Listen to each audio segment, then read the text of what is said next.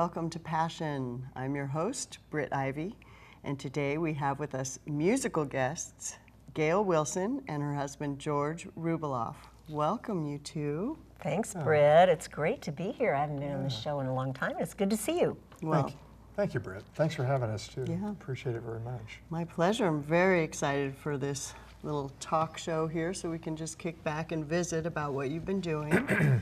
um, Gayle, you've been around, both of you have been around for decades in the Valley, so we're here to talk about your passion for music.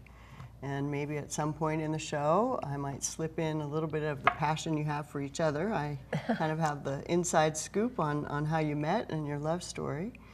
Um, but let's start out by talking a little bit about what you're currently doing um, at Camelot Theater. I know you had a, a year off or so. Tell, why don't you share with the audience where Oh, you've been? sure. We're so well, used to I've seeing been- you everywhere, from Channel 10 news anchor woman years ago to you know Channel TV 5, person. Brett. Channel 5. Right. Whoops. Whoops.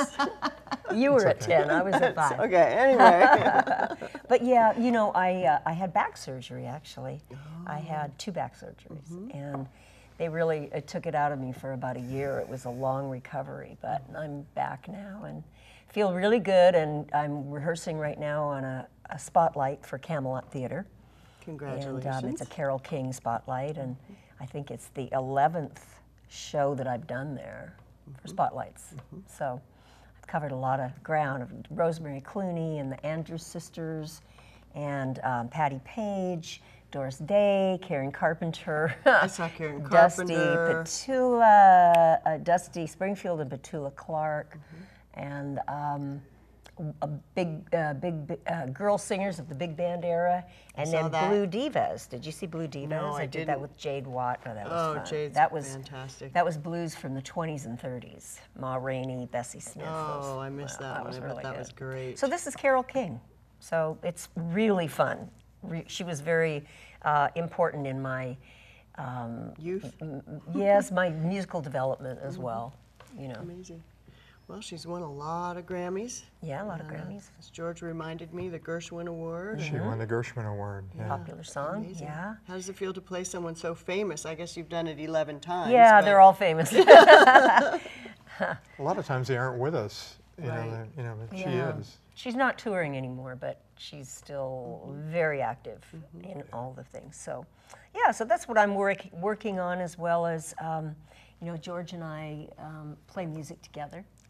And so we're always working on our c- upcoming gigs. And, you know, I'm learning, I've been learning a new style of music for the last um, several years. And George introduced me to that. It's, it's gypsy jazz. Yes.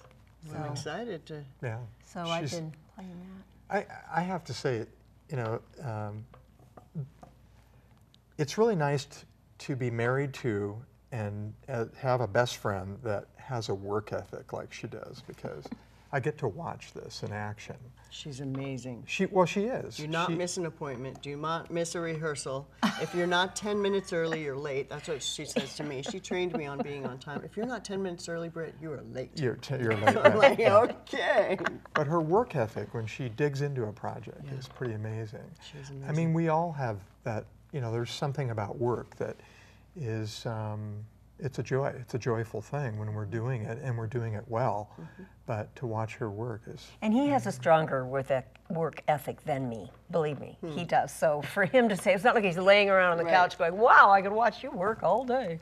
Yes, I You understand he's your, your recent love of photography that you spend about 20 out of 24 hours a day working on that. So we'll get to that at the later part in the show. But so you're both a little mutual admiration society. That sounds like a marriage in heaven to me. That sounds just. I mean, how amazing!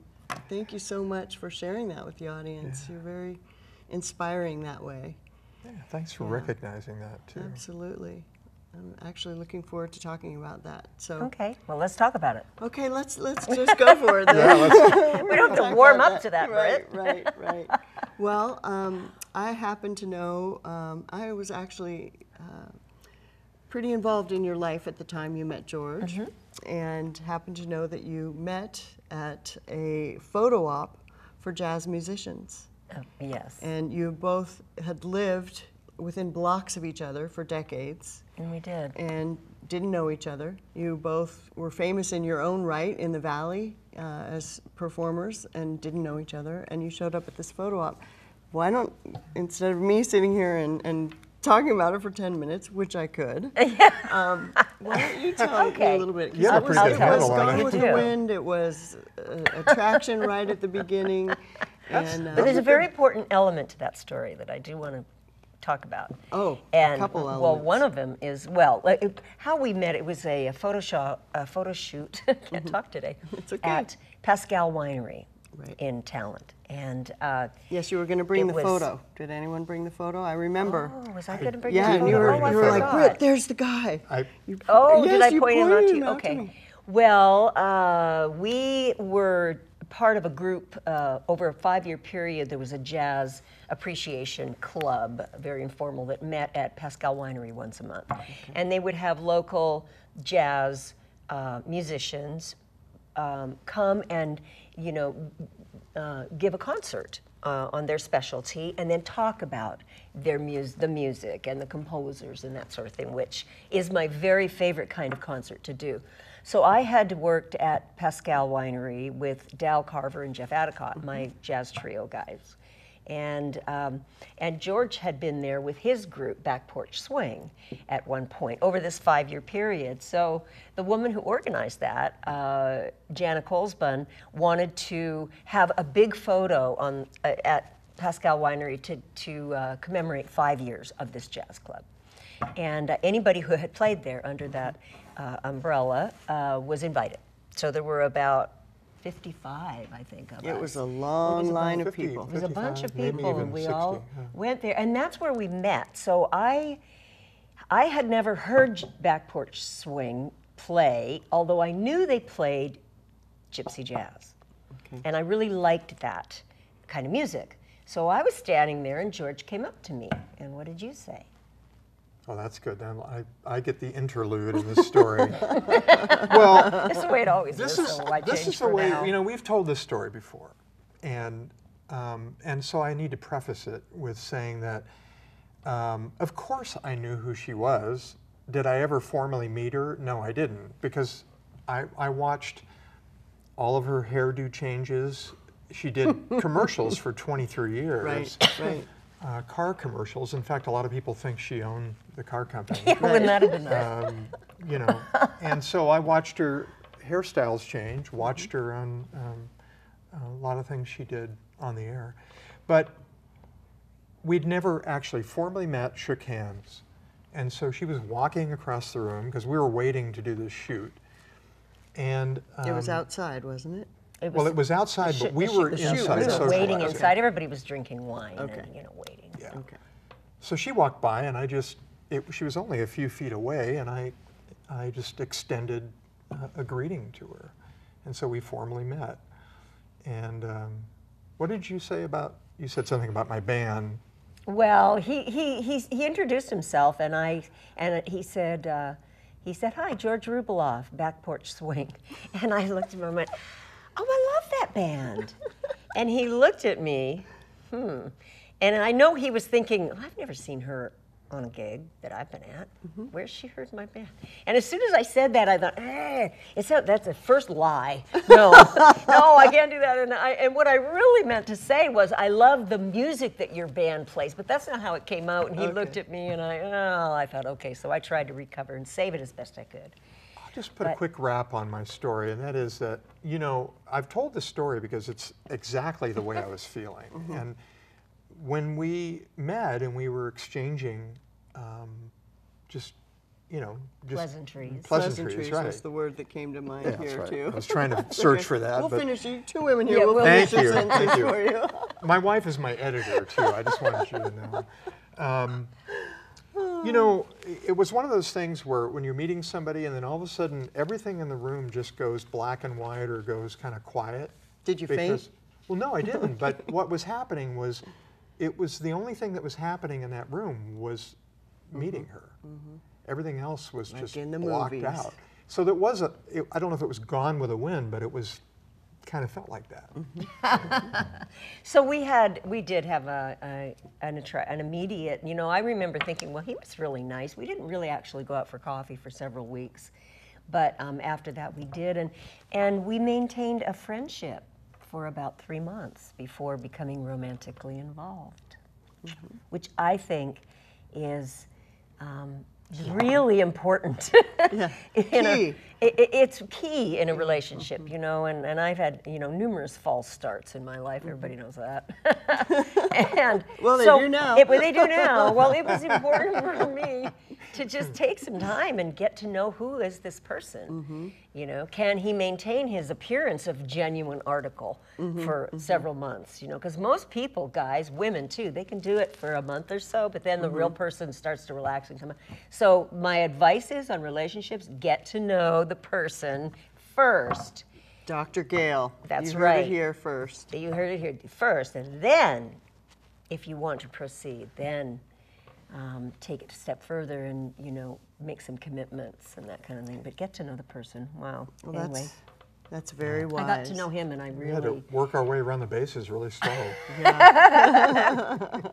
Well, uh, like the lasting effect here is is tribute that that works, obviously, and I actually remember um, the fact that there were some discussions that happened, and I think besides becoming a person's friend before introducing romance, as you mentioned, Gayle, um, the next component that made it so successful is the fact that you did discuss. Let's discuss money, for instance. discuss Let's finances. have a talk about a budget. You know, whereas Yeah, most right. people you've known for six months and they're like, what?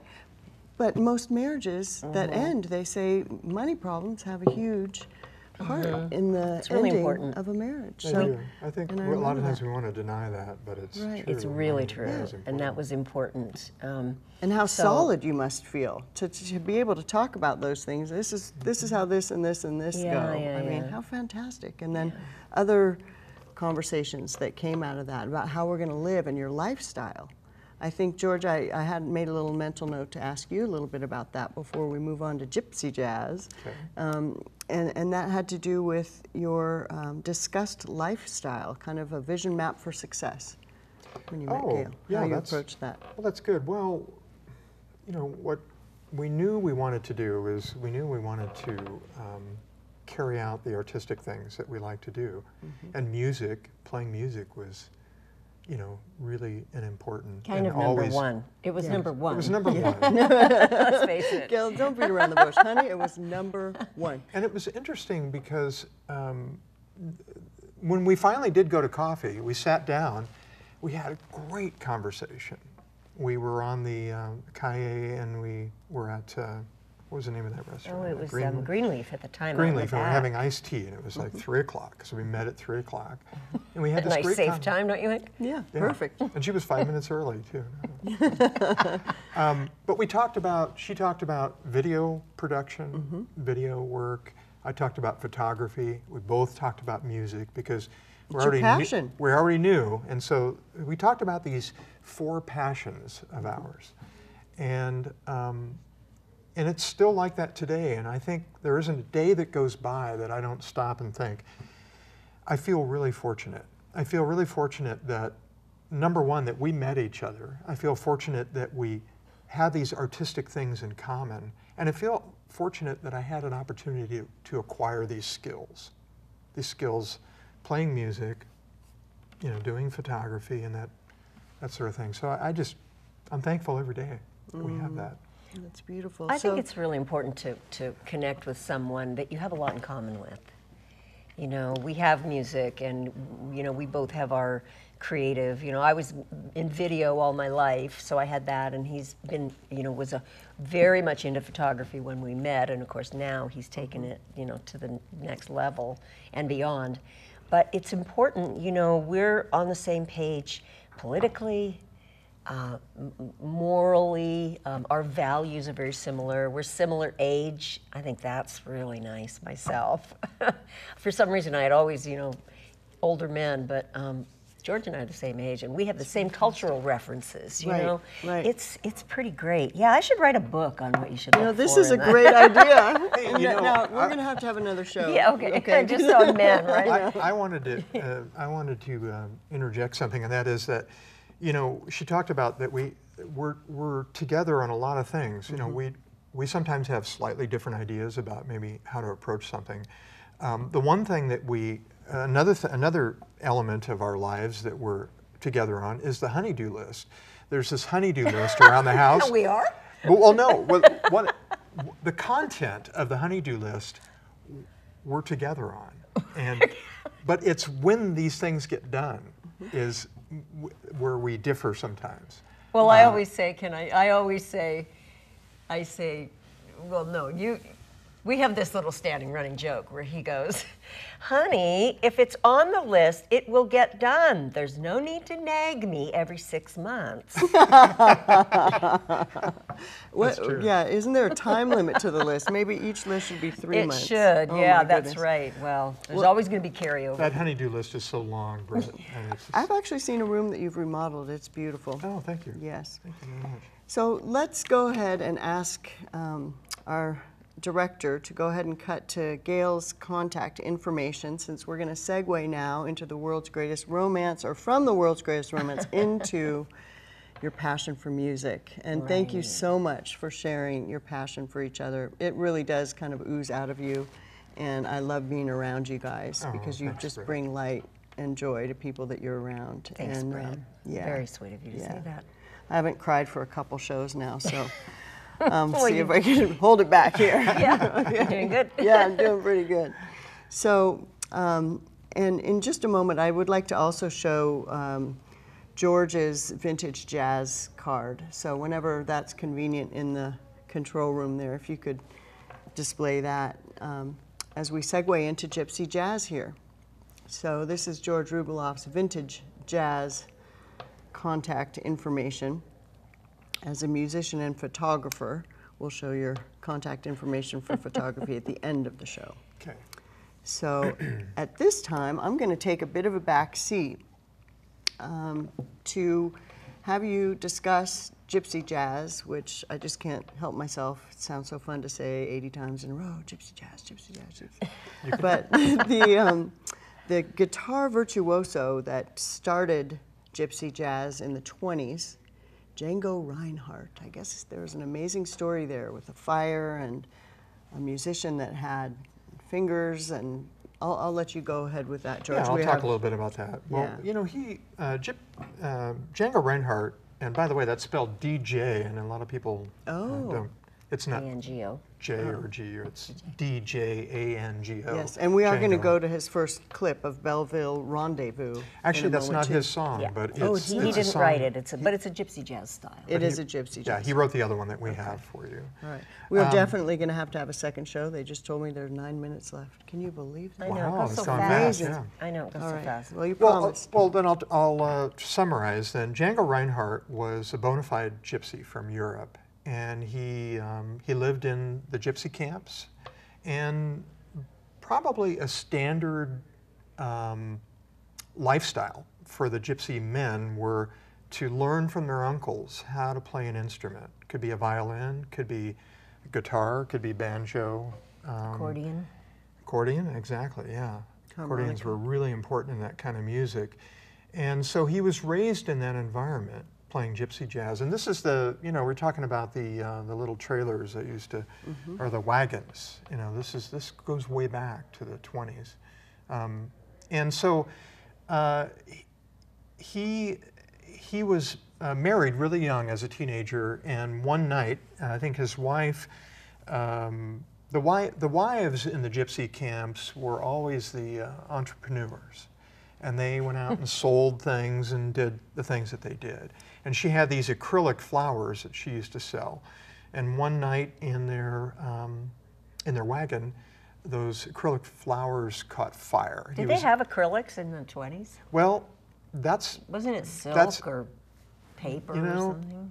Don't correct in the middle acrylic of a might story be, now. might Oh, okay. a, it, it might be a they were- modern thing, but somehow I read They caught on that fire. it was Yeah, they caught maybe it was fire. cellulose or you know what, Cellulose, yeah, maybe it was yeah, cellulose, that'll yeah. go up Paper. But anyway, it caught Anyway, fire. it the whole fire. thing caught fire, and he was seriously injured in his leg and, and also in his hand. And so he was in the hospital for quite a while. They wanted to remove his leg, but his, his family said no. And um, somebody brought him, uh, I think it was a, a guitar, I think a guitar while he was in the hospital.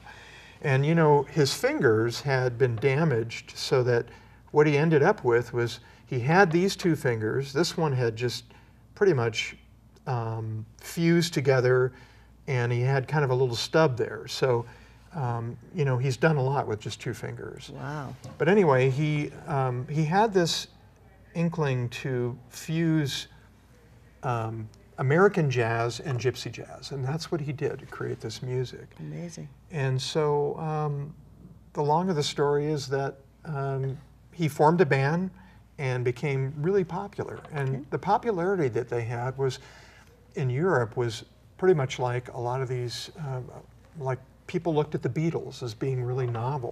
Well, the Hot Club of France, That the was the name of his quintet, band. yeah, the band was um, amazingly popular. They played in Paris tea rooms a lot, but they didn't drink tea in these tea rooms. Right. I, It was like, All right. you know, So that music just caught had hold, and it has a real infectious rhythm to it. wonderful. and it's jazz and it's very accessible for people i think Awesome. Well, we probably just have time to play Bellevue Rendezvous. Belleville Rendezvous. It's a clip of, uh, it's very uh, hot uh, gypsy jazz style. Okay. Wonderful. Well, that's probably what we have time for today, and the next one we'll Yeah. share on the next show. will we hear this All right. Whenever you're ready, we will go to Belleville Rendezvous. two, one, two, three, four.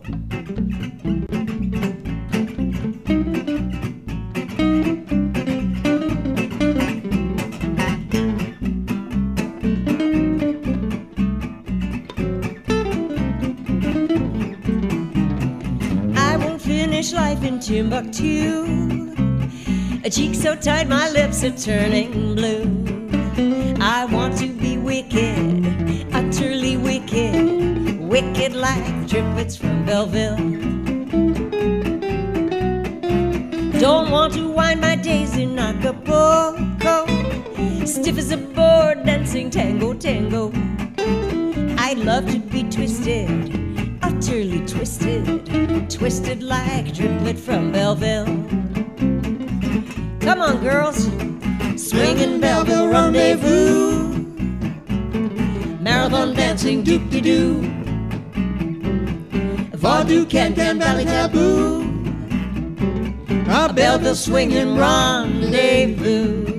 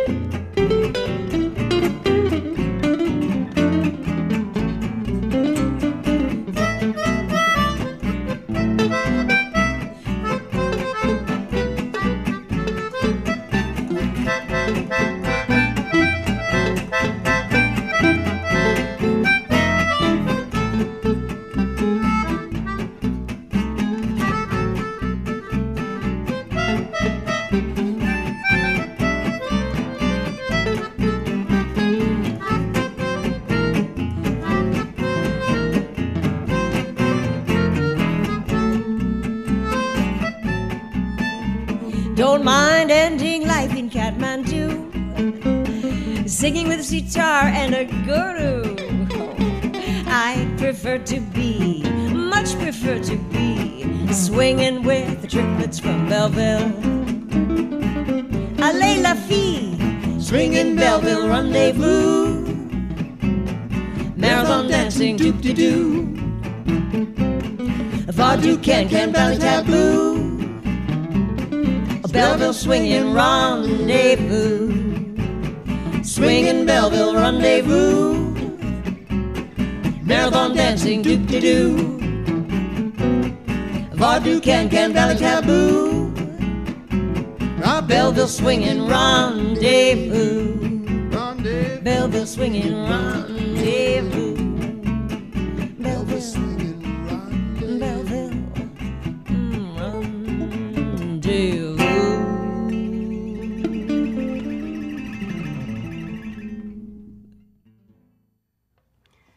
Want to sing.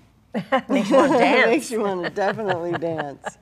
That was great, Gayle. Mm, thank that was you. great. I think I first heard you on the melodeon, one of those instruments that I was thinking was a harpsichord, but I don't know mm-hmm. my instruments that well. I heard you on the melodeon um, at Standing Stone on the patio one summer. You two were together. It must have mm. been the Oh, yeah. I do when you had your trio. It was lovely. Well, that's a quartet on that uh, recording. Uh, we have a guitarist and a bass player on that, in addition to George and I. But we we play um, around town, um, a little bit around town. We play some wineries.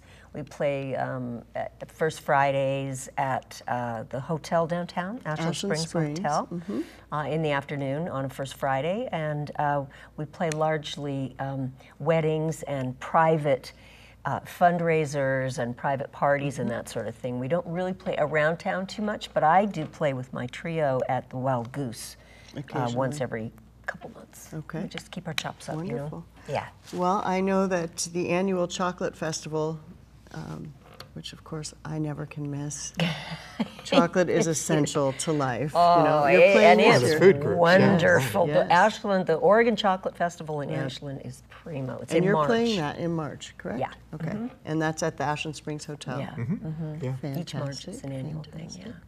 Well, before we wrap up, let's ask our director to show the contact information of your photography business, George, because we'll have another show and we can talk about your passion for photography. Oh, okay. Very passionate. There we are, George uh-huh. Rubaloff Photography, and your website's Oh, right there. And That looks I've familiar. seen some of your work. It's amazing. Oh, Yeah. thank you. It's amazing. Go to his you very much. website. It's really loaded with wonderful. Yeah. It's art, really. I like shooting really people. Yeah, people are interesting uh, to. Could take that a, a different way, but, but we're not but going we're to. not going No. to. All right. well, this has been a pleasure. Thank you guys so very thank much. you, I Thanks love for to having see us. Your support of one another. Thanks it's for just being- beautiful, and thanks for your support of me as well. Yeah. over the Absolutely. years. Thanks And for the being show, you know, you've been on this show for quite a while now, eight years, I think. Something said, like something like that. that. Yeah. So way to go. You're obviously passionate about that. Thank you. congratulations. Thank you. I have wonderful folks to talk to. I have great guests. Thank You're a you so much. smooth interviewer. Ah. All right, you guys. Well, I look forward to the next one. Okay. And um, Thanks. Thank you so much for joining us today on Passion. I'm your host, Britt Ivy. and We look forward to seeing you again soon. Bye bye.